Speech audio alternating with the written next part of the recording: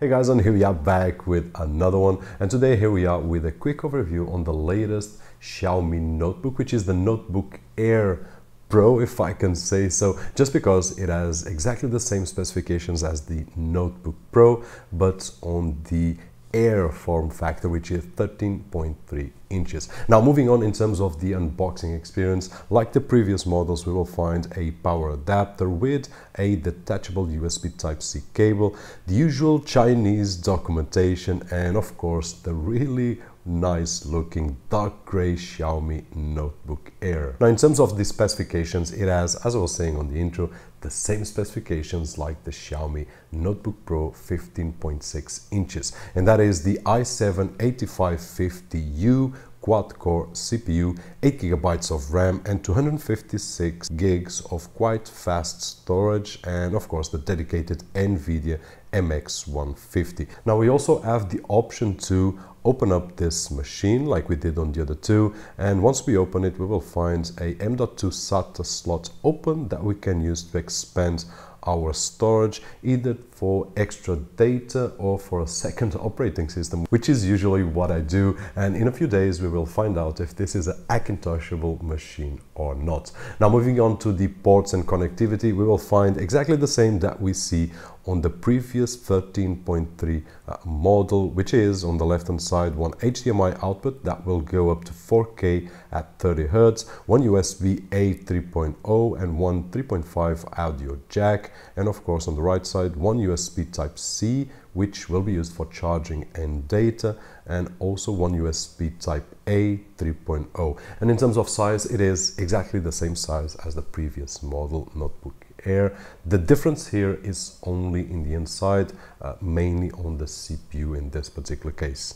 Now in terms of screen resolution, keyboard, trackpad and so on and so forth, it's exactly the same experience that we had on the Notebook Air previous generation. Also the fingerprint uh, sensor that we can use to log in and so on and so forth. Now I would say that comparing with the uh, Notebook Pro, it's a little bit below, exactly the same as the previous model. The difference is mainly in the insides and in this particular case the CPU itself. And this will give us a performance boost, especially compared uh, with the 13 inches but if we compare it with the 15 inches as you guys can see by some images performance will be very very similar if not the same now in terms of synthetic benchmarks uh, they will show us especially on geekbench 4 the cpu score and the OpenCL score which are very close to one another because the cpu is exactly the same. And in terms of graphics as we guys can see as well 3d mark score using the skydiver benchmark we will get also close benchmarks. The 15 inches was a little bit higher, but